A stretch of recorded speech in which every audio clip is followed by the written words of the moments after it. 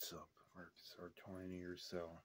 I'm doing a quick little review on my Venom hoodie, so here it is.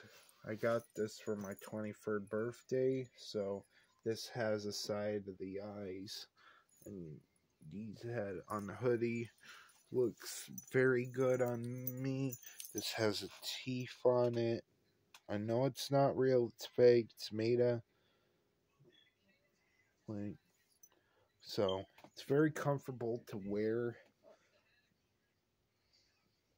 And coming up next is going to be Don't Stop Believing one year anniversary of my cover, Journey cover. Mm-hmm.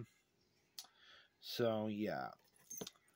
Don't forget to drop a like, comment, and subscribe, and I will see you to in our video.